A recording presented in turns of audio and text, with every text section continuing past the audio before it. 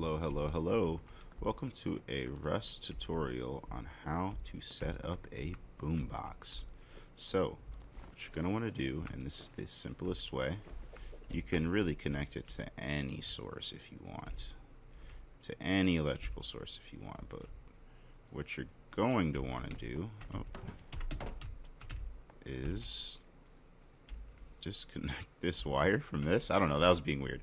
Anywho, you're going to want to get a generator and set that down next to the boombox. Go ahead and take the power from the generator and just go ahead and slap it in the boombox. Turn the generator on and now you can jam out on the boombox. Um, I'm only going to play Rust Radio. You can play actual music, but that's copyrighted, so we're going to go ahead and leave that off.